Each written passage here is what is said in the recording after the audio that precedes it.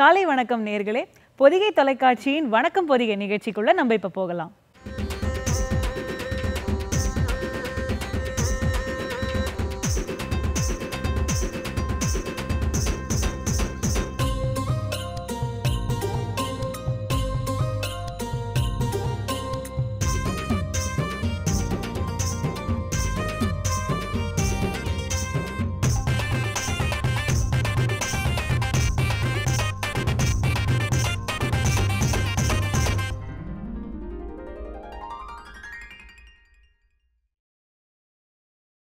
நம்ம வணக்கம் புதிய நிகழ்ச்சியோட முதல் பகுதி திருக்குறள்.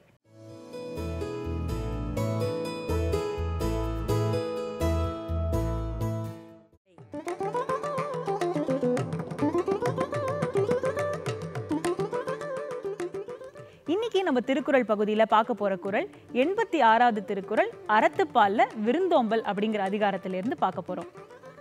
செல்விருந்து ஓம்பி வருவிருந்து பார்த்திருப்பான் நல்விருந்து வானத்தவர்க்கு. இந்த குரலில் என்ன சொல்லியிருக்காங்க அப்படின்னு பார்த்தோன்னா தன்னுடைய வீட்டுக்கு வரக்கூடிய விருந்தாளிகளை நல்லா கவனிச்சு அவங்களுக்கு தேவையான சாப்பாடு தண்ணி இதெல்லாம் கொடுத்து அன்பாக பார்த்துட்டு பின்னாடி வர விருந்தாளிகளை எதிர்பார்த்து இருக்காங்க பார்த்தீங்களா? அப்படிப்பட்டவங்களை தேவர்களுடைய சிறந்த விருந்தாளிகளாக இருப்பாங்க. அதாவது சுருக்கமாக சொல்லணும் அப்படின்னா மற்றவங்களுக்கு அன்பு காட்டி அடுத்த விருந்தாளியை எதிர்பார்த்து இருக்கக்கூடிய ஒருத்தரை மற்றவங்க எல்லாரும் நிறையா அன்பு கொடுத்து பார்த்துப்பாங்க. நம்ம வணக்கம் பொதிகை நிகழ்ச்சியோட அடுத்த பகுதி யோகம் இன்று.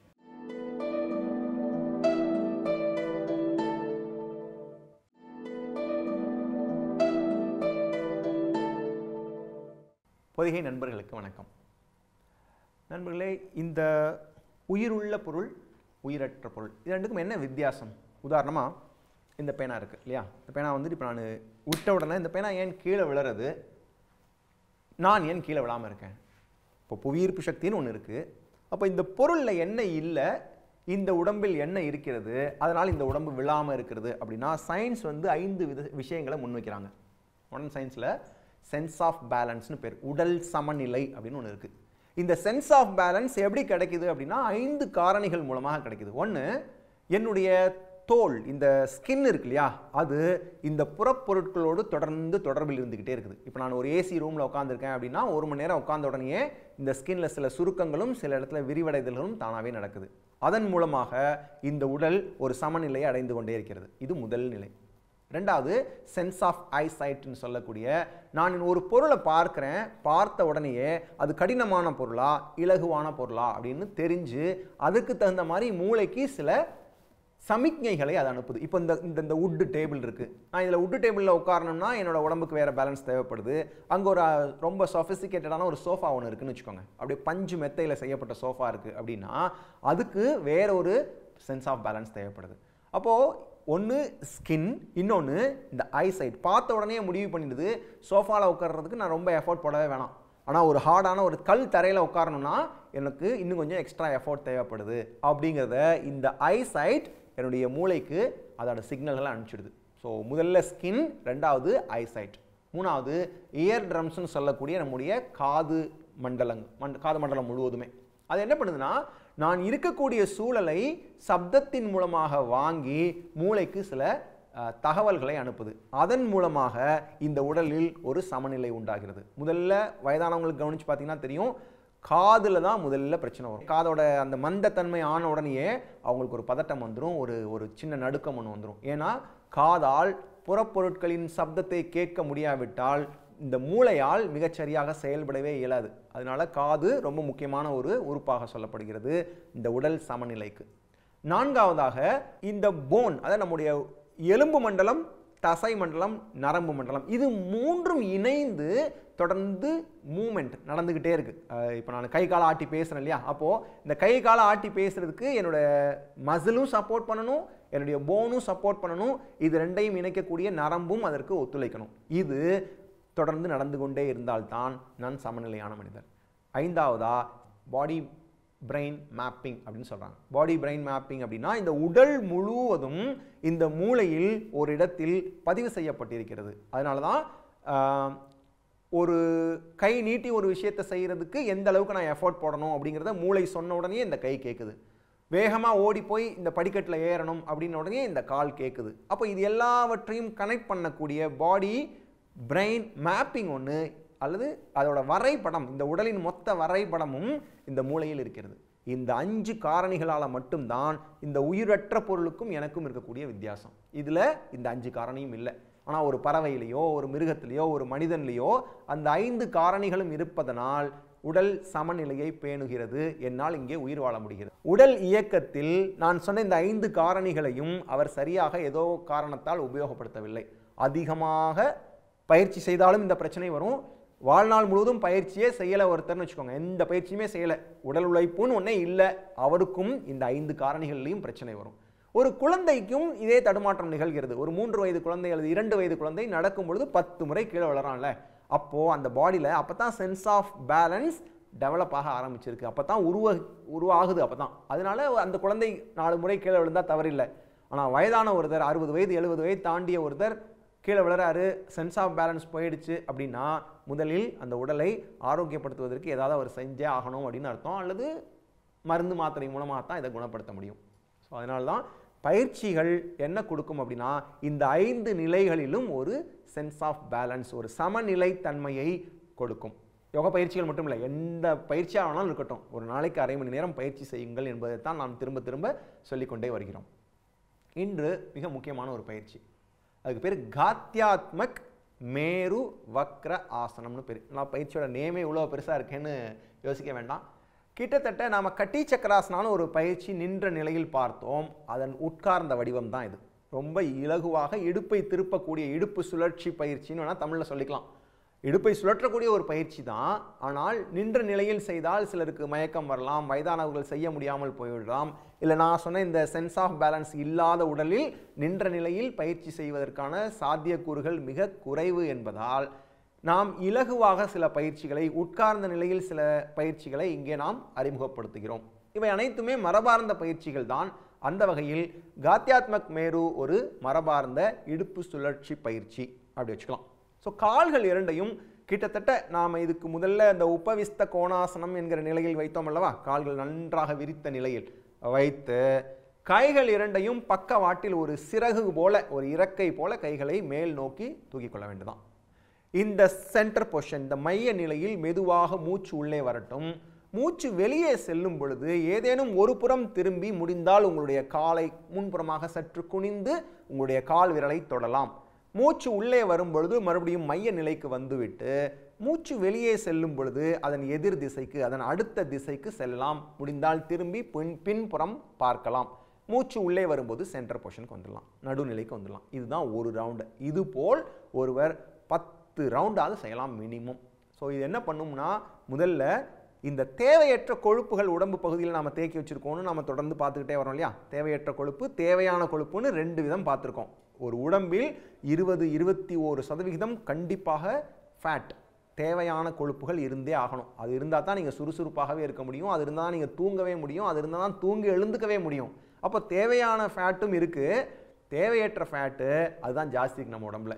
யாருக்கெல்லாம் சற்றேனும் இந்த இந்த நம்ம ரெண்டு விதமான உடல் பகுதி வயிற்று பகுதி பார்த்தோம். ஆப்பிள் ஷேப் பியர் ஷேப்னு ரெண்டு பார்த்தோம். ஆப்பிள் மாதிரியான வயிற்று பகுதியின் வடிவம் பியர் ஃப்ரூட்னு சொல்லக்கூடிய பேரிக்கா போன்ற வயிற்றுப்பகுதியின் வடிவம்னு ரெண்டு வடிவம் பார்த்தோம் இல்லையா? அது ஆரோக்கியத்திற்கான ஒரு ஒரு குறியீட்டு தான். ஒரு ஆரோக்கியத்திற்கான ஒரு அளவீடு அது. அந்த ஆரோக்கியத்தை மறுபடியும் சமன் செய்வதில் தேவையற்ற கொழுப்புகளை நீக்குவதில் இந்த பயிற்சி மிக முக்கியமான பயிற்சி. இது ஒன்று முன்பகுதியில் நடக்கக்கூடியது. இரண்டாவது என்ன நடக்கும்னா பேராசிம்பத்தட்டிக் சிஸ்டம் சிம்பத்தட்டிக் சிஸ்டம்னு சொல்லக்கூடிய வலது மற்றும் இடது நரம்பு மண்டலத்தில் இது வரைக்கும் யாருக்கோ ஒருத்தருக்கு பிளாக் இருக்குன்னு வச்சுக்கோங்களேன். சரியாக ரத்த ஓட்டம் பாயவில்லை சரியாக இயங்கவே இல்லை அந்த இடம். அதனால சீக்கிரம் மரத்து போகும் தன்மை வருகிறது. சிலர்லாம் பார்த்தீங்கன்னா பத்து நிமிடம் உட்காந்தோடனே கால் மரத்து போகும்னு சொல்லுவாங்க. அவர்களுக்கான முக்கியமான பயிற்சி. இது என்ன பண்ணும்னா இந்த பேராசிம்பத்தட்டிக் சிம்பத்தட்டிக் நர்வ் சிஸ்டத்தில் இருக்கக்கூடிய பிளாக்கை முதல்ல ரிலீஸ் பண்ணி விட்டுடும். அதில் அதில் மிகச்சரியான ரத்த ஓட்டம் ஒன்றை இயக்க செய்துவிடும். ஒன் ஒன்ஸ் நீங்கள் அந்த இந்த பிளட் சர்க்குலேஷன் பெட்டர் ஆயிடுச்சுனாலே முதல்ல இந்த கால் மறந்து போகிறது ரொம்ப நேரம் உட்கார முடியல ரொம்ப நேரம் நிற்க முடியல போன்ற அந்த இந்த உபாதைகள் இருக்குல்ல அது எல்லாம் நீங்கிவிடும். நாளை காலை மீண்டும் ஒரு பயிற்சியுடன் சந்திப்போம். நன்றி வணக்கம்.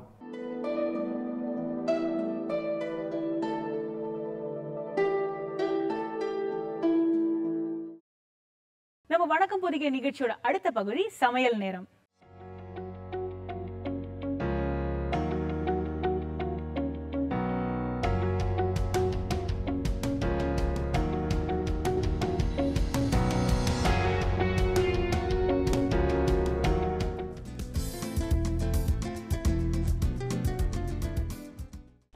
பாலே ஊற்றாமல் எல்லாரும் லெமன் டீ குடிக்கணும் அப்படிம்பாங்க. ஈவினிங் நம்ம வந்து ஃபார் எக்ஸாம்பிள் நீங்கள் ஆஃபீஸ் விட்டு வீட்டுக்கு வந்திருப்பீங்க. குழந்தைங்க அவங்க ஃப்ரெண்ட்ஸை கூட்டிகிட்டு வந்திருப்பாங்க. ஆர் யாராவது உங்கள் வீட்டுக்கு கெஸ்ட் வந்திருப்பாங்க. ஸோ குயிக்காக ஒரு லெமன் டீ பண்ணணும்னா நீங்கள் டீயை வந்து நல்லா கொதிக்க விட்டு வடிகட்டி இந்த மாதிரி நீங்கள் கோல்டாக பண்ணி வச்சுக்கலாம். பாருங்கள் அல்லது ஐஸ் க்யூப்ஸாக நீங்கள் வந்து பண்ணி வச்சுக்கலாம். ஸோ இந்த ஐஸ் க்யூப் டீயை வந்து நான் இதில் போடுறேன். நல்ல உங்களுக்கு தேவையான அளவு ஒரு டூ டீஸ்பூன்ஸ் whatever. அது போடுங்க. அந்த வாட்டரையும் நான் இதில் போடுறேன். இது வந்து ரெடியாக நம்ம ஃப்ரீஸ் பண்ணி வச்சுருக்கோம். அண்ட் இங்கே வந்து லெமன் ஜூஸ் ஆட் பண்ணுறேன் இது வந்து ஹனி பியோர் ஹனி ஸோ இந்த ஹனியை வந்து நான் ஆட் பண்ணுறேன்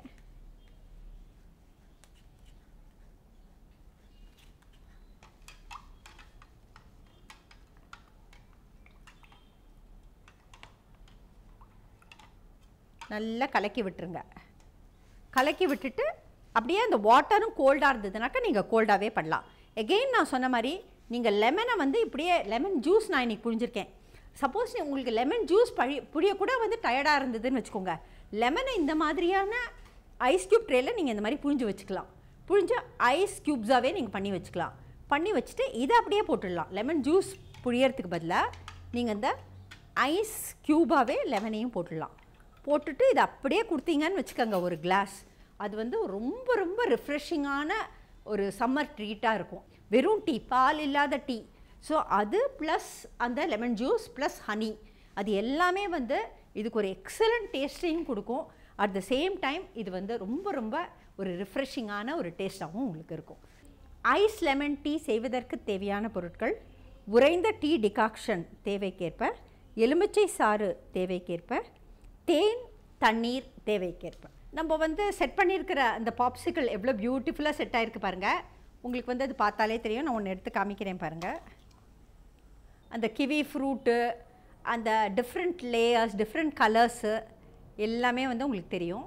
நான் சொன்ன மாதிரி இந்த ரெயின்போ பாப்சிக்கல் வந்து வேரியஸ் காம்பினேஷன்ஸ் போட்டு நீங்கள் பண்ணலாம். ஃபஸ்ட்டு ஒரு லேயர் என்ன உங்களுக்கு ஃப்ரூட் வேணுமோ அந்த ஃப்ரூட்டோட ஜூஸ் போட்டுக்கோங்க. ஃபார்ட்டி மினிட்ஸ் செட் பண்ணுங்கள் திருப்பி நெக்ஸ்ட்டு ஃப்ரூட்டோட லேயர் போட்டுக்கோங்க. ஃபார்ட்டி மினிட்ஸ் செட் பண்ணுங்கள் உங்களுக்கு வேணுமா கிவி ஃப்ரூட்டு அல்லது ஆரஞ்சு அல்லது ஸ்ட்ராபெரி அது வேணாலும் நடுப்புற போட்டுக்கலாம். Then next watermelon juice then next pomegranate juice இப்படி வந்து நீங்கள் நிறையா என்ன ஜூஸ் வேணுமோ அத்தனை ஜூஸும் வந்து நீங்கள் போட்டுட்டு செட் பண்ணிக்கலாம். அண்ட் வந்து ஹைலி நியூட்ரிஷியஸ் ஏன்னா அவ்வளோ வந்து நோய் எதிர்ப்பு சக்தி மிக்கது வந்து fruits start the day with fruits எந்த டே வித் ஃப்ரூட்ஸ் அப்படின்னு சொல்லுவாங்க.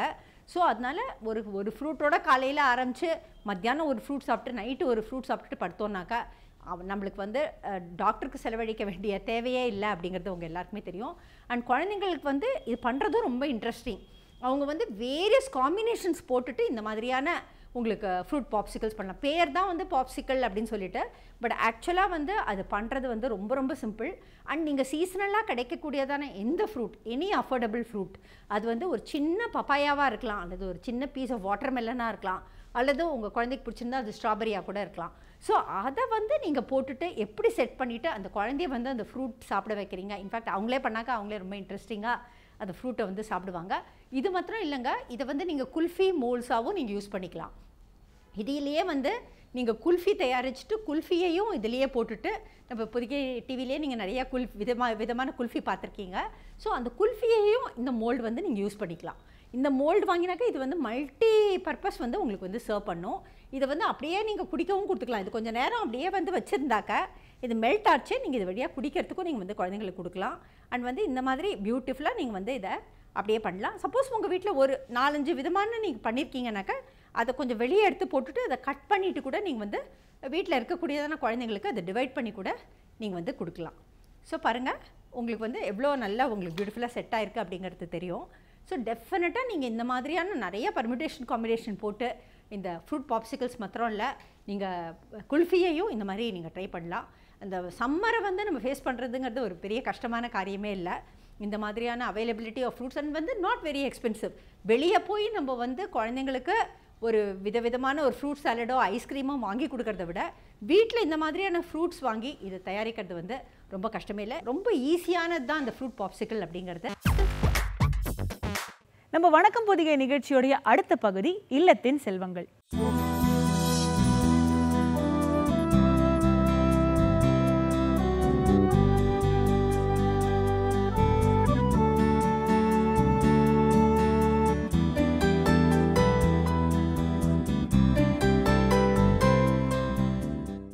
வணக்கம் நேயர்களே. நாய்கள் பொதுவாக நமக்கு தொந்தரவு கொடுப்பதில்லை. ஆரம்ப காலங்களில் நாம் சில தடுப்பூசிகள் போடுவது அதுக்கு மட்டும் தான் நம்ம ஆஸ்பத்திரிக்கு போயிட்டு இருப்போம் பின்காலங்களில் ஆறு வயசுக்கு மேலே வந்து பார்த்திங்கன்னா அதுகளுக்கு சில சில பிரச்சனைகள் வர வாய்ப்பு உண்டு. அந்த வித அந்த டைமுங்களில் நம்ம வந்து அந்த நாய்களை கரெக்டாக பேணி கா பாதுகாக்க வேண்டும். அப்படி வயதான டாகுகளில் என்னென்ன ப்ராப்ளங்கள் வரும்? பொதுவாக பார்த்தீங்கன்னா நாய்களை வந்து மனிதங்களோட கம்பேர் பண்ணும்போது ஒன் இயருங்கிறது வந்து ஈக்குவல் டு செவன் இயர்ஸ் இப்போ ஒரு நாய்க்குட்டி வந்து ஒன் இயர் ஓல்டுனா அது செவன் இயருக்கு கணக்காகும்.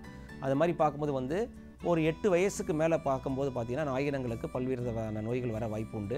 அதில் பெருச பொதுவாக பார்த்தீங்கன்னா அந்த லார்ஜ் இன பிரீடில் வந்து பார்த்தீங்கன்னா ஆர்த்ரைட்டிஸ் அதான் ரொம்ப காமனாக வரக்கூடியது. ஆர்த்ரைட்டிஸ் ஹிப் டிஸ்பிளேசியான்னு போன் போன் எலும்பு சம்மந்தப்பட்ட நோய்கள் கண்ணில் வந்து பார்த்திங்கன்னா அப்தமா அப்தமாலஜிக்கல் ப்ராப்ளம் பார்த்திங்கன்னா வந்து கேட்ராக்ட் கார்னியல் ஒப்பசிட்டி கண்ணு பழுப்பு அடை அடையிறது இது மாதிரி நடக்க வாய்ப்பு உண்டு.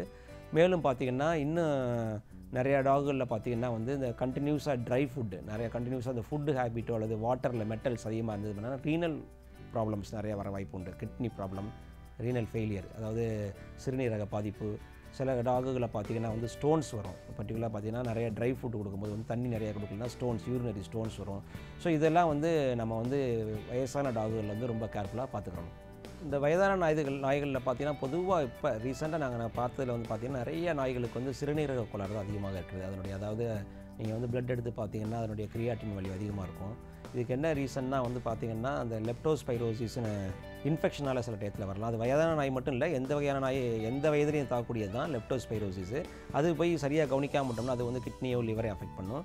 அப்புறம் பார்த்தீங்கன்னா வந்துட்டு ஆக்குலர் ப்ராப்ளம் ஆக்குலர் ப்ராப்ளம்னா கேட்ராக்ட் ரொம்ப காமன் கேட்ராக்ட் வந்து ரொம்ப காமன் அதையும் வந்து கேட்ராக்ட்டுக்கு இப்போ நிறைய டெவலப் ஆகிருக்குது நாங்கள் நிறையா சர்ஜரிஸ்லாம் பண்ணுறாங்க அப்புறம் பார்த்திங்கன்னா காதில் பார்த்தீங்கன்னா ஊட்டைட்டிஸ்ன்னு சொல்லக்கூடிய காதில் வந்து பஸ்ஸு சீல் வைத்து கொள்வது கொள்வது அப்புறம் பார்த்திங்கன்னா வந்து ஜாயிண்டில் வந்து ரொம்ப காமனாக இருக்கிறது வந்து லார்ஜ் பில் வந்து ஹிப் டிஸ்பிளேசியானக்கூடிய ஒரு நோய் ஹிப் டிஸ்பிளே ஜாயின் ஜெனட்டிக்கலாக வரக்கூடிய ஒரு நோய்.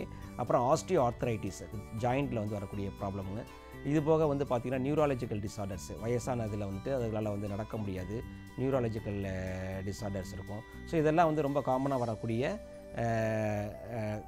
வயதான நாய்கள் வரக்கூடிய நோய்கள். ஸோ இந்த மாதிரி வயதான நாய்களில் வரக்கூடிய நோய்கள் வயது மூப்பினால் மூப்பினால் வரக்கூடிய நோய்களை எவ்வாறு நம்ம தடுக்கலாம்னா தடுப்பது வந்து நம்ம கரெக்டாக வந்து டயட் வந்து ஒரு முக்கியமானது. டாகுகளுக்குன்னு தனியாக டயட் இருக்குது. அதை கொஞ்சம் கேர்ஃபுல்லாக பார்த்து கொடுக்கணும். பீரியாடிக்கலாக செக் பண்ணிக்கணும் டாக்டர்கிட்ட போயிட்டு பீரியாடிக்கலாக செக் பண்ணிக்கணும் ஸோ ஒன்ஸ் இந்த நாய்களுக்கு வந்து சில நோய்கள் வந்துருச்சு இப்போ for example hip dysplasia bone சம்மந்தப்பட்ட எலும்பு சம்மந்தப்பட்ட நோய் வந்துருச்சுன்னா அது சம்மந்தப்பட்ட டாக்டரை போய் பார்த்துட்டு அதுக்கு என்ன ரெமெடிங்கிறத பார்த்துக்கணும்.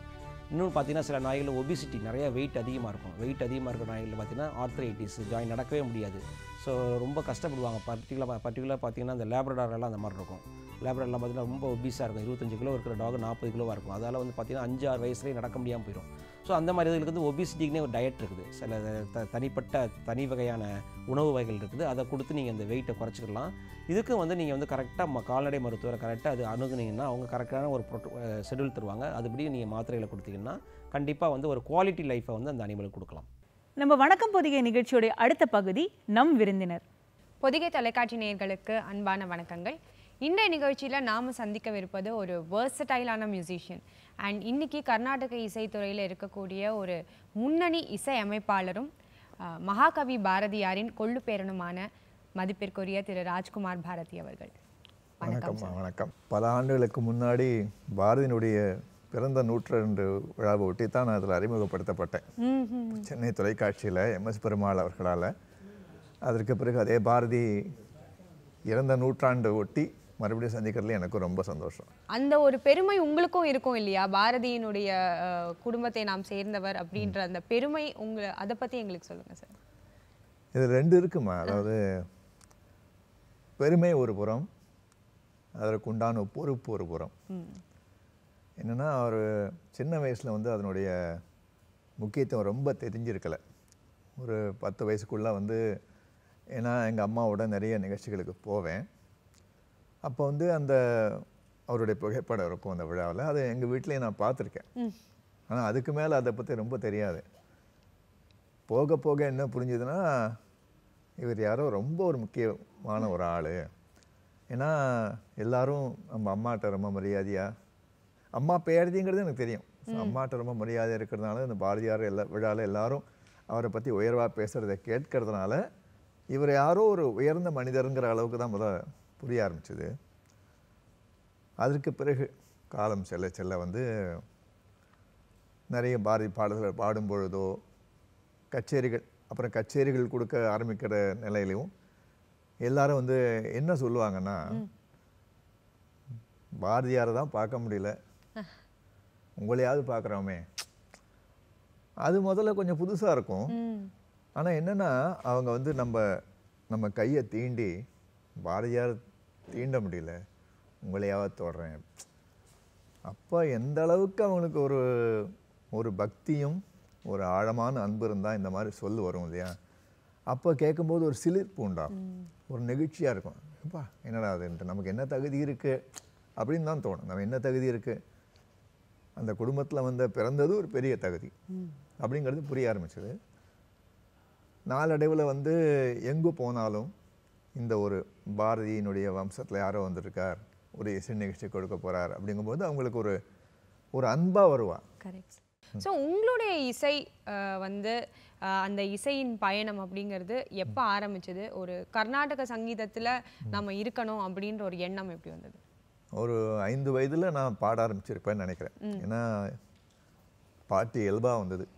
ஏன்னா ஒரு நாளைக்கு ஏதோ வீட்டில் உட்காந்துருக்கும் போது ஏதோ ஒரு பாட்டை நான் அறியாமல் முன்முணுத்திருக்கேன் அப்போது என்னுடைய பெற்றோர்கள் என் தாயும் தகப்பனாரும் கண்டு கொண்டார்கள் ஓ இந்த குழந்தைக்கு இசை வரும் அப்படின்னுட்டு அதுக்கு பிறகு என்னுடைய அம்மா தான் ஆரம்ப பாடங்களை தான் சொல்லித் தருவாங்க. அப்புறம் பாரதியார் பாட்டு பாடுறது அப்படி இருந்தது. அப்புறம் ஒரு ஒரு பத்து வயசு இருக்கும்னு நினைக்கிறேன். அதுக்கப்புறம் வள்ளியூர் குருமூர்த்தி அப்படிங்கிற ஒருத்தர்கிட்ட ஒரு முறையாக கற்றுனேன் ஒரு பத்து பன்னெண்டு வருஷம். அதுக்கு பிறகு டாக்டர் பாலமுரளிகிருஷ்ணன் ஆகட்டும் ஒரு ரெண்டு வருஷம் அவருடைய தில்லானாக்களை கற்றுக்க போனேன். அவர் அவருடைய தானியற்றிய பாடல்களை பயிற்றுவித்தார். அதுக்கு பிறகு இந்துஸ்தானி கற்றுக்கணும் அப்படின்ட்டு டிவிஜி சார்கிட்ட போனேன். அவர்கிட்ட போனது வந்து ஒரு ஒரு திருப்பு முனை என்று சொல்லலாம். என்னென்னா இந்துஸ்தானி இசை பயில தான் போனேன். ஆனால் அவர் என்ன பண்ணினார்னா பண்ணினார்னா நீ ஏன் என்னோட இணைஞ்சு கச்சேரிகள் செய்யக்கூடாது என்று கேட்டார். ஏன்னா அப்போ நான் கர்நாடிக் மியூசிக் கச்சேரியில் கொடுக்க ஆரம்பிச்சேன் சமயம். ஓகே. சரி அப்படின்னுட்டு அவர் ஒரு பின்பாட்டா அவருக்கு பின்னாடி இருந்து அவருடைய சீடை தான் நான் நிறைய பாட ஆரம்பித்தேன் தனிப்பட்ட கச்சேரிகளும் பண்ணினேன். நீங்கள் கேட்டீங்க இல்லையா அதை எப்படி நீங்கள் கர்நாடிக் மியூசிக்கை தேர்ந்தெடுத்தீங்கன்ட்டு. உண்மை அதுதான் என்ன தேர்ந்தெடுத்தது? நான் இந்த மாதிரி ஒரு அகாடமி கிருஷ்ணான சபா தமிழ் இசை சங்கம் போன்ற சிறந்த இசை நிறுவனங்கள் இசை நிலையங்கள் நடத்திய பல்வேறு போட்டிகள்ல நான் நிறைய பரிசுகள் வாங்கியிருக்கேன். முதல் பரிசு. அதே மாதிரி என்னுடைய குடும்பத்தில் எல்லாருக்குமே இசையில் ஈடுபாடு உண்டு நல்ல தேர்ச்சியும் உண்டு. ஆனால் யாருமே அதை ஒரு முழு நேர தொழிலாக எடுத்துக்கல. அது வரையில். நானும் ஒரு பொறியியல் பட்டதாரி பிஏ படித்து அதுக்கு பிறகு ஒரு ஐந்து ஆண்டுகள் வேலையில் இருந்தேன். ஆனால் காலத்தின் கட்டாயம் என்னாச்சுன்னா என்ன என்ன வேலைக்கும் போக முடியல பாட்டுக்கும் போக முடியலன்னு இடைப்பட்ட ஒரு நிலையில் இருந்து சிக்கின்னு இருந்தேன். அப்போது அதுக்கு தூண்டுகோலாக அமைஞ்சது வந்து டிவிஜி சாரனுடைய வார்த்தைகள். நீ இந்த வேலையை விட்டேன்னா நல்லா பிரகாசமாக வருவேன்னு சொன்னேன் எனக்கு ஒரு யோசனையாக இருந்தது. இன்ஜினியராக இருந்து ஒரு வேலையை விட்டுட்டு ஏன்னா ஒரு இசைக்கலைஞன் வந்து தொழிலாக கொண்டாக்க வாழ்க்கை தரம்னு ஒன்று இருக்கு இல்லையா? கொஞ்சம் கஷ்டப்படுறதுங்கிற மாதிரி தான் அப்போ நிலைமை இருந்தது. இப்போ மாதிரி இல்லை. நான் சொல்றது முப்பது நாற்பது ஆண்டுகளுக்கு முன்னாடி இசையை தொழிலாக கொள்வது என்பது கொஞ்சம் அவ்வளவு பிரமாதமாக ஏற்கப்படாத ஒன்று. அப்போ நான் சொன்னேன் எப்படி சார் வெறும் இதை வச்சுட்டே எப்படி பண்ண முடியும்னு கேட்டதுக்கு ஏன் உனக்கு என் மேல் நம்பிக்கை இல்லையா? அப்படின்னு கேட்டார். என்னமோ அந்த வார்த்தைகளை என்னை புரட்டி போட்டன. அதற்கு பிறகு நான் அதை முழு நேர தொழிலாகவே எடுத்துன்னு உள்ளே புகுந்துட்டேன். வண்டர்ஃபுல் சார் இப்போ வந்து உங்களுடைய லைஃப்ல ஒரு டேர்னிங் பாயிண்ட்டாக அமைஞ்ச ஒருத்தரை பத்தி சொன்னீங்க. இப்போ பாரதியாரை பத்தி நம்ம நினைச்சோனாலே பல பேரினுடைய வாழ்க்கையில அவருடைய வார்த்தைகள் அவருடைய கவிதைகள் டேர்னிங் பாயிண்ட்டாக அமைஞ்சிருக்கு. அந்த மாதிரி உங்களுக்கு அவர்கிட்ட ரொம்ப இன்ஸ்பயர் ஆன விஷயம்? பாரதி வந்து ஒரு ஒரு பன்முக பார்வையாளர். நான் அடிக்கடி பார்த்து ரொம்ப வியக்கிறது உண்டு அதாவது என்னன்னா ஒரு பெரிய அறிஞர்களுக்கு சபையில் பாரதி கொண்டாடப்படுவான் ஒரு நடுத்தரமான கூட்டத்திலையா பாரதியை கொண்டாடப்படுவான். ரொம்ப பெரிய இலக்கிய அறிவு இல்லை ரொம்ப தமிழ் சொற்கள்லாம் ரொம்ப தெரியாதானா கேட்டால் புரியும் என்கிற அளவில் இருந்தாலும் அவர் கொண்டாடப்படுகிறார். அப்படின்னா ஏதோ ஒரு விஷயம் இருக்கு இல்லையா? அந்த அதில் அவருடைய எளிமை மாத்திரம் இல்லை எளிமை அதோடு சேர்ந்த ஒரு வீச்சு ஏன்னா அந்த கருத்து அந்த கண்டென்ட் ஆஃப் தி மேட்டர்னு சொல்லுவாங்க இல்லையா? அந்த அடக்கம் அந்த பொருள் அடக்கம் அது வந்து அதை பார்த்து நான் ரொம்ப வேந்திருக்கேன். இப்போ பாரதியிட்ட ஒரு முக்கியமான விஷயம் நான் பார்த்து வியந்தது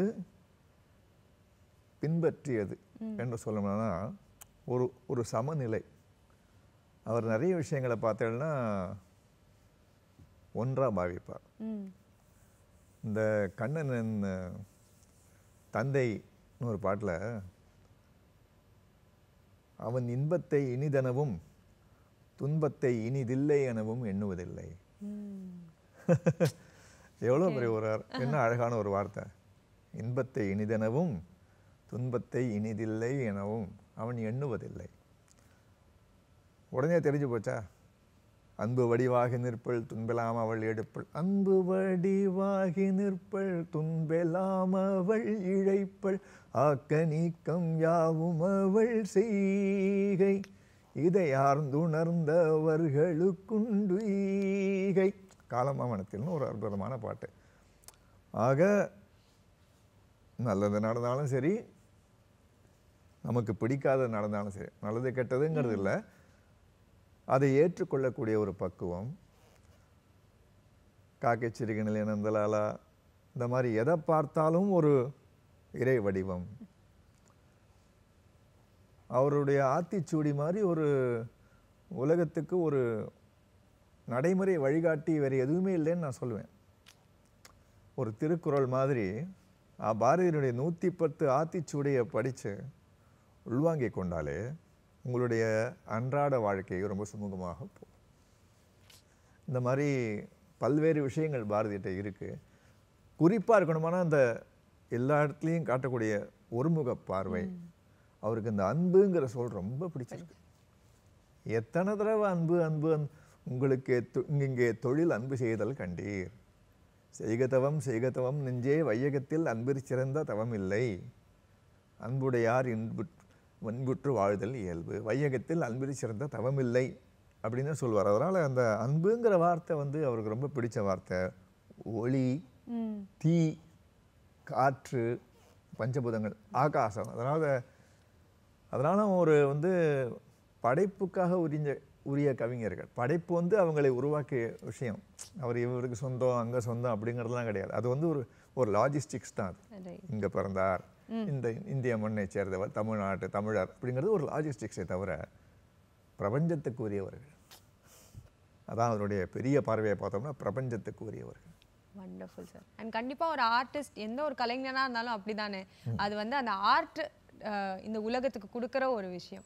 இல்லையா? எதுவுமே அந்த கலைஞன் செய்யறது இல்ல. ஆமாம் அது ரொம்ப பெரிய உண்மை. எல்லா கலைஞரும் அது ஒரு சின்ன ஒரு ஒரு வலை மாதிரி நினைக்கிறேன். மாய வலை மாதிரி. எல்லாம் நாம தான் செஞ்சோம் அப்படிங்கிற எண்ணம் தூண்டுகிறது. பட் அப்படி இல்லை. அவர்களை கொண்டு நடத்தப்படுகிறது என்பதுதான் பெரிய உண்மை. It all happens through them. ஏன்னா அது வந்து படைப்பு என்ன அழகாக அரேஞ்ச்மெண்ட் பண்ணுன்னா இன்னென்ன அறை இன்னென்ன தொழிலுக்குன்னு அதுவே ஏற்பாடு செய்யும். இந்த பொறுப்பை அவன்கிட்ட கொடுத்து நீ இதை கவனியப்பா. நீ இதை செய். நீ மியூசிக் போடு. நீ பாட்டு எழுது. நீ பாடு. நீ கேளு. நீ இதை தயார் பண்ணு. ஸோ எல்லாமே இருக்குது யார் சிறந்தவன் சொல்லவே முடியாது. எல்லாம் ஒட்டுமொத்தம் தான் Correct, sir. நிஜமாவே கோல்டன் வேர்ட்ஸ் தான் இப்போ வந்து உங்களுடைய பயணத்திலையும் அதை பத்தி சொல்லணும்னா முதல்ல வந்து ஒரு மியூசிஷியன் ஒரு வோக்கல் ஆர்டிஸ்டா இருந்தீங்க. அதுக்கப்புறமா ஒரு மியூசிக் கம்போசரா அது வந்து ஒரு கம்ப்ளீட்லி டிஃப்ரெண்ட்டான ஒரு கரியர் இல்லையா? இன்னொருத்தர் கம்போஸ் பண்ண பா பாடல்களை பல ஆண்டுகள் பாடிட்டு அதுக்கப்புறம் நம்ம கம்போஸ் பண்ண அந்த மாதிரி நிறைய பேர் கம்போஸ் பண்றாங்க. பட் நீங்க கம்போஸ் பண்ற விதம் வந்து especially for many dance dramas அப்படின்ற பொழுது கர்நாடிக் மியூசிக் வந்து இஸ் ஸோ டிஃப்ரெண்ட் ஃப்ரம் ஒரு கிளாசிக்கல் டான்ஸ் இல்லையா? பார்க்கறதுக்கு எல்லாம் கர்நாடக சங்கீதம் மாதிரி இருக்கும். ஆனா அப்ரோச்சுக்கு ரெண்டுமே வேற வேற ஸோ அதை பத்தி சொல்லுங்க சார் நான் வந்து நாட்டிய நிகழ்ச்சிகளுக்கு இசையமைக்க போனது ஒரு ஒரு சுவையான விபத்துன்னு சொல்லலாம். ஏன்னா நான் நான் எதிர்பார்க்காத ஒரு விஷயம். நான் நிறைய கச்சேரிகள் பண்ணிட்டு இருந்தேன் ஏதோ ஒரு குரலில் ஒரு பிரச்சனை ஏற்பட்டது. ஸோ பாட முடியாமல் போனது. அப்போ வந்து என்னுடைய அந்த என்னுடைய தொழிலில் நான் உச்சத்தை நோக்கி போயின்னு இருந்தேன் prime time in my career அப்போ திடீர்னு ஒரு அந்த பெரிய உயரத்துலேருந்து டபால்னு கீழே வந்தால் அப்படி இருக்கும். அந்த மாதிரி அந்த மாதிரி ஒரு நிலமை. பட் என்ன பண்ணுறது தெரியல. முதல்ல வந்து என்ன செய்யறதுன்னு தெரியாத பொழுது படைப்பு தான் மறுபடியும். இங்கேருந்து தூக்கி அப்படி போட்டுது. ஒரு திட்டம் ஒரு பிளான் எதுவுமே இல்லை. நான் இப்போ கம்போஸ் பண்ணுவேன். நான் டான்ஸுக்கு கம்போஸ் பண்ணுவேன்னு ஒரு கொஞ்சம் கூட பண்ணியிருக்கேன். அதுக்கு முன்னாடி பாடிக்கொண்டிருந்த போது இசை நிகழ்ச்சிகளுக்கு நான் இசையமைத்து பாடியிருக்கேன். அவ்வளோதான் தெரியுமே தவிர. ஸோ என்னுடைய அந்த திறமையை பார்த்த சிலவர் சரி ஏன் நீ பாட முடியாட்டா கூட இதை நீ பண்ணலாமே? என்று அவர்கள் பெரிய மனது படைத்து அப்போ அவர்களாக என்னை அழைத்து பாட இந்த மாதிரி இசையமைக்க வைத்தார்கள். என்ன அப்போ இப்போ இருக்கிற வாய்ஸ் கூட அப்போ இல்லாமல் இருந்தது. பேசவே முடியாது. சத்தமே வராது. ஓகே. ஆமாம் சத்தமே இருக்காது. அப்போ எந்த நம்பிக்கையில் அவங்க என்ன இசையமைக்க சொன்னாங்க? தெரியாது. ஏதோ ஒரு நம்பிக்கை. இசையமைச்சா சரியாக தான் இருக்கும் அப்படின்னுட்டு. அந்த நம்பிக்கையை கொடுத்ததுனால என்னமோ தெரியல. அது நடந்து அதுக்கு பிறகு நானும் இது உள்ளே போய் இப்போ வந்து நிறைய நாட்டிய கலைஞர்களுக்கு நிறைய பேருக்கு நான் இசையமைச்சிருக்கேன் அது ஒரு அழகான ஒரு விஷயம். பாடுறது டோட்டலி டிஃப்ரெண்ட் இது இது வித்தியா ரொம்ப வித்தியாசம். ஏன்னா அடுத்தவருடைய தேவைக்கு ஏற்ப நாம் செய்யணும். இதில் நிறைய பரிமாணங்கள் இருக்கும். அதாவது நம்ம டேஸ்ட்டு அதுக்கு பிடிக்க அந்த மாதிரிலாம் இல்லாமல் ரொம்ப ஸ்பிரிச்சுவலாக சொல்லணுமானா it's an ego killer right சரி நான் தான் இப்படி தான் பண்ணுவேன். எனக்கு தெரியாதா? அப்படிங்கிறதெல்லாம் இங்கே இருக்கக்கூடாது. இருந்தால் நம்ம பரிமளிக்க மாட்டோம். அவங்களுக்கு என்ன தே இது வந்து it's it's one has to be open நிறைய கற்றுக்கலாம் இது வந்து வயசுக்கும் கற்றுக்கிறதுக்கும் சம்மந்தமே கிடையாது. இவ்வளோ வயசானா கற்று முடிச்சாச்சுன்னு சொல்லவே முடியாது. கற்றுக்கொண்டே இருக்கலாம். ஆக இன்னும் கற்றுக்கொண்டே இருக்கிறேன். அதனால் அந்த ஒரு பயணம் ரொம்ப சுவையாக இருக்குது ஏன்னா ஒவ்வொரு முறையும் புதுசாக இருக்குது அதனால் அலுப்பு வரல. சலிப்பு தட்டலை. அதனால் ஃப்ரெஷ்ஷாக ஓடின்னு இருக்கு பாரதியார் அவர்களை பத்தி அவருடைய கவிதைகள் எல்லாம் நம்ம படிக்கும் பொழுது அவர் ஒரு கவிஞன் ஒரு புறம் இருந்தாலும் அவரே ஒரு மிகப்பெரிய ரசிகனா இருந்திருப்பாரோ? ஒவ்வொரு விஷயத்துக்கும் அப்படின்றது வந்து ரசிக்காட்டா. கவிதை எழுத முடியாதே. நீங்கள் ஒரு ஒரு ரசிகனா ரசிகனா நீங்கள் இல்லைன்னா நீங்கள் எழுத முடியாது. யார் எந்த துறையிலையும் சரி பாட முடியாது. நான் ஒரு ரசிகனா இல்லைன்னா நான் பாட முடியாது. ஒரு ரசிகனா இல்லைன்னா கவிதை எழுத முடியாது. ஒரு ரசிகனா இல்லைன்னா நடிக்க முடியாது. ஒரு ரசிகனா இல்லைன்னா சமைக்க முடியாது. இது வந்து எல்லா துறைகளுக்கும் பொருந்தும். பாரதியார் வந்து இந்த சங்கீத விஷயம் அப்படின்னு ஒன்று எழுதியிருப்பார். ரொம்ப அருமையான ஒரு கட்டுரை. அதில் வந்து எப்படி இசையில் நவரசங்களும் கலந்திருக்க வேண்டும்? அப்படின்னு பாரதி சொல்லுவான் ரசச்சேர்க்கை இல்லாத பாடல் உயிரை நீக்கி நீக்கிய வெற்றுடம்பிற்கு பிணத்திற்கு சமம். அதனால் இந்த ரசானுபவம் தான் எவ்ரி திங் இன் லைஃப் நம்ம அனுபவிக்கிற விஷயங்கள் எல்லாமே இந்த ரசானுபவம் தான். அது வந்து சில சமயம் அதில் எல்லாம் அடக்கம். இந்த கொஞ்ச நேரம் வருத்தம் கொஞ்ச நேரம் ஆனந்தம் கொஞ்ச நேரம் வந்து ஒரு கோபம். இது எல்லாமே நீங்கள் சுவையான ரசங்களாக பார்த்துட்டா பிரச்சனை கிடையாது. மாட்டிக்காமல் இருக்கணும் அது வேற விஷயம். பட் இந்த நவரசங்களும் சேர்த்து தான் வாழ்க்கைன்னு தான் பாரதியினுடைய தத்துவம். ரசச்சேர்க்கை இல்லாமல் அவன் அவனால் இருக்க முடியாது. அதனால தான் அடடாவோ அடடா. அந்த வார்த்தைகளை பார்த்தோன்னா மங்கியது ஒரு நிலவினிலே அந்த பாட்டில் அடடாவோ அடடா. ஆஹா ஆஹா வென்று எழுந்தது பார் யுகப்புரட்சி. இந்த வார்த்தைகள்லாம் வந்து சாதாரணமாக சொல்கிறவ ஆஹா அப்படின்னு சொல்கிறத அவன் உடனே கவிதையில் கொண்டு வரான். ஆஹா என்று எழுத எழுந்தது பார் யுகப்புரட்சி. மாகாளி பராசக்தி கடைக்கண் விழித்தாள் ஆகா வென்று எழுந்தது பார் யுகப்புரட்சி என்று பாடுறான். அதனால் இது பாரதிய ரசனையும் பிரிக்க முடியாது. கண்டிப்பா. இப்போ உங்களுக்கு வந்து நிறைய வெளியில வராத தெரியாத கவிதைகள் அதெல்லாம் வந்து படிக்கக்கூடிய வாய்ப்புகள் உங்களுக்கு கிடைச்சிருக்கா அவருடையது? இப்போ அப்படின்னு சொல்ல முடியல. ஏன்னா நிறைய நான் சொல்கிறேன் பாரதி ஆர்வலர்கள் வந்து நம்ம அவங்கள கும்பிடணும். என்னென்னா அவங்களுடைய தீவிரம் எப்படின்னா எப்படியோ இப்போ சீனி விஸ்வநாதன் போன்ற பெரியவர்களை வந்து ரொம்ப முட்டி மோதி பார கால வரிசைப்படுத்தப்பட்ட பாரதிய பாடல்கள்னு ஒரு பன்னெண்டு தொகுதிகள் வந்திருக்கு. சுதேசமித்ரன் ஆஃபீஸுக்கு போய் ஹிந்து ஆஃபீஸுக்கு போய் தேடி எடுத்து அது மாதிரி தொடர்ந்து பழைய நண்பர்கள் நிறைய பேர் செய்கிறாங்க வெங்கடாச்சலபதி சார் செய்கிறார் மணிகண்டன் சார் செய்கிறார் அதனால் நாளுக்கு நாள் புதிய புதிய தகவல்கள் நிறைய விஷயங்கள் வருகின்றன. சில சமயம் வந்து என்னென்னா கொஞ்சம் ஆர்வம் மிகுதியினாலேயும் சில பேர் சில தகவல்கள் சொல்லுகிறார்கள். அது வந்து ஏற்கக்கூடியதா இல்லைதா அப்படின்னு தெரிய மாட்டேங்கிறது. அதனால் இப்போ இப்போ எங்களுக்கு வந்து தெரிஞ்சதெல்லாம் வீட்டில் நடக்கிறதுலாம் என் தாயார் சொல்லி எனக்கு தெரியும். என் தாயாருக்கு அவர் தாயார் பாரதியினுடைய மகள் தங்கம்மாள் சொல்லி அவங்களுக்கு பாரதியினுடைய மனைவி சொல்லி செல்லம்மா பாரதி வந்து தான் என்னுடைய அம்மாவெல்லாம் வளர்த்தார்கள் என்று சொல்லுவார். அதனால் வந்து எங்கள் அம்மா சொல்லும்போது கூட இந்த ஒரு சுவையான ஒரு விஷயம் இந்த புதுவையில் இருக்கும்போது என்னாகுமா கொஞ்சம் பணத்தட்டுப்பாடு. ஏன்னா வந்து ரொம்ப முடக்கம் ஜாஸ்தியாக போயிடுது. அதை பண்ணக்கூடாது எழுதக்கூடாதுன்னு முடக்கி விட்டுட்டான் பிரிட்டிஷில் அப்போது ஒருத்தனுக்கு இதுதான் தொழில் இதுதான் வருமானம் அதை நீ கையை கட்டிட்டா அவன் என்ன பண்ணுவான்? ரொம்ப பெரிய கஷ்டம். அதனால தான் பாரதிக்கு நடந்தது. ஆனால் அவர் அதை பற்றி கவலைப்படுறதில்ல ஒரு ஒரு யூனிக் கேரக்டர் அதுக்கு தான் சொல்கிறேன் அதை பற்றி கவலைப்படாமல் ஏதாவது கையில் பைசா கிடைச்சா உடனே உடனே எல்லாருக்கும் கொடுத்துட்றது. பணத்தட்டுப்பாடு இருக்கும். அதை பற்றி பேசவும் முடியாது. பாட்டி எழுதுவாள் வந்து எத்தனையோ நாளைக்கு ராத்திரி வாழைப்பழம் மாத்திரம் சாப்பிட்டுட்டு படுத்துன காலம் எத்தனையோ நாள் உண்டு. பால்காரி வந்து கடனுக்கு பாலை கொடுத்துட்டு போவா பாரதியாருக்கு தேவதா விசுவாசிகள் இருந்தனர். நள்ளிரவில் கதவை தட்டி காசு கொடுத்துட்டு போவோம் அதுலேயும் பாருங்க அவருக்கு திடீர்னு வரல யாராவது வந்துட்டானாக்கா சமைக்கலாம் அப்படின்னாக்கா அரிசி இல்லைன்னு வச்சுக்கோங்களேன். அதை பாட்டிகிட்ட சொல்லுவாராம் அரிசி இல்லைன்னு சொல்லக்கூடாது ஆனா ஈனா. அரிசி இல்லைன்னு சொல்லாத. ஆனா ஈனா. புரியுது? அந்த அந்த பார்வையே வேற. அதனால தான் வந்து நான் அடிக்கடி சொல்லுவேன் பாரதியாரும் வறுமையில் வாடினார் வாடினார். சரிப்பா வாடினார். நம்மளை பொறுத்த வரைக்கும் ஒரு சராசரி மனுஷன் பார்க்கும்போது வாடின மாதிரி தான் தெரியும். வாடினார். ஆனால் அதை அதை அதை அவர் மிஞ்சின ஒரு மானுடனாக இருந்ததுனால எத்தனை கோடி இன்பம் வைத்தாயின்னு பாடினார். இல்லையா? என்ன என்ன பாடியிருக்கணும்? எத்தனை கோடி துன்பம் வைத்தாய் தானே பாடியிருக்கணும்? இப்படி பாடலை. என்ன வறுமை இருந்தாலும் எத்தனை கோடி இன்பம் வைத்தாய்? அவர் உடனே இன்பம்னு உடனே இந்த இதை இந்த வச்சு இந்த பிரமாதமான வீட்டை கொடுத்தியே. அந்த மாதிரி பாடலை. இச்சித்தனே அச்சித்துடன் நினைத்தாய் அங்கு சேருமையும் பூதத்து வேணுலக அமைத்தாய். அத்தனை உலகமும் வர்ணக்களஞ்சியமாக பல நல்ல அழகுகள் சமைத்தாய். ஸோ ஒரு படைப்பு கவிஞனுக்கு வந்து இது ஒரு பெரிய விஷயம் இல்லை.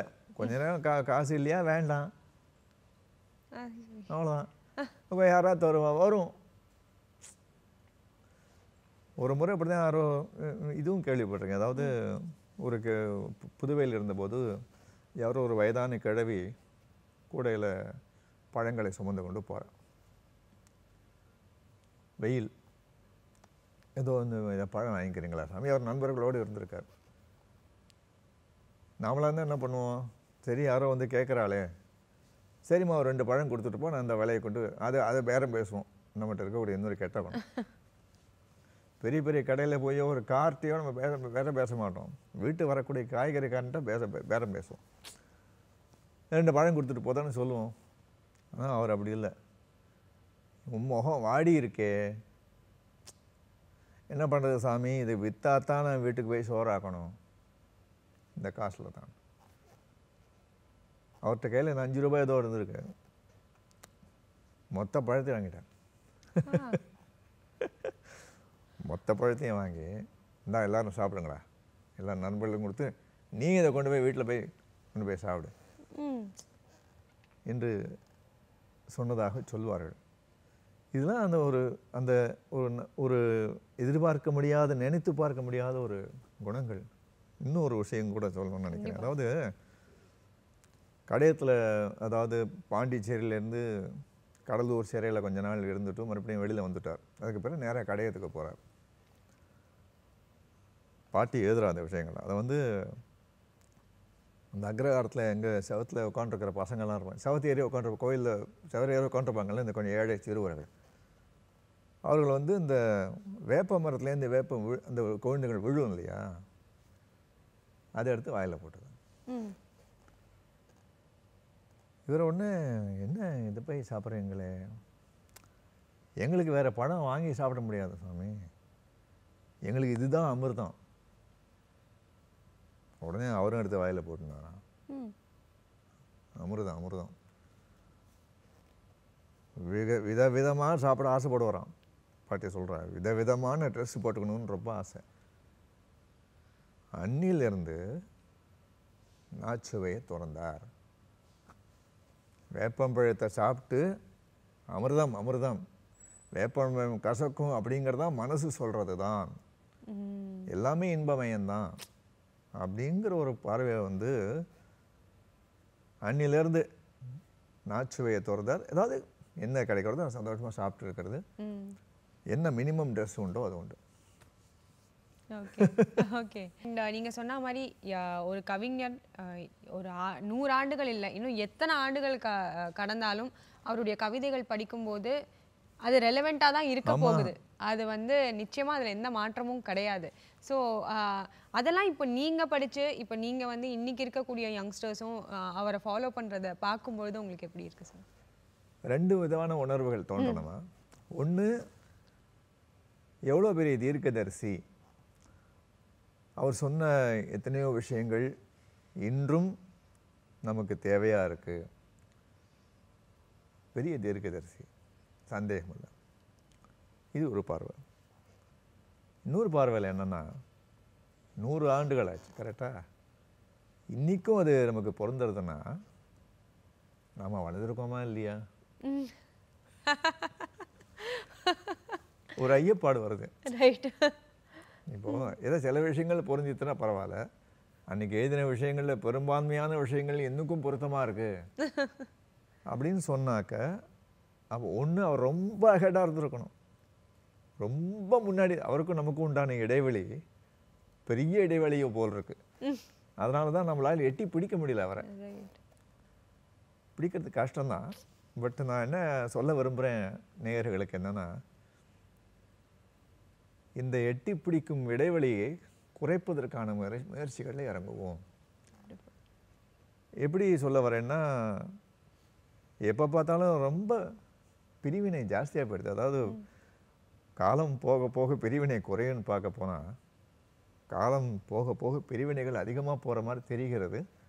இதை நிச்சயமாக பாரதி விரும்பலை. ம். கரெக்டா? அதனால் நம்மை பிரிக்கின்றன இந்த விஷயங்கள் என்பதை இளைஞர்கள் கண்டுகொள்ள வேண்டும். அதை ஏற்றுக்கக்கூடாது நாம் எல்லோரும் ஒன்று ஒற்றுமை உயர்வு.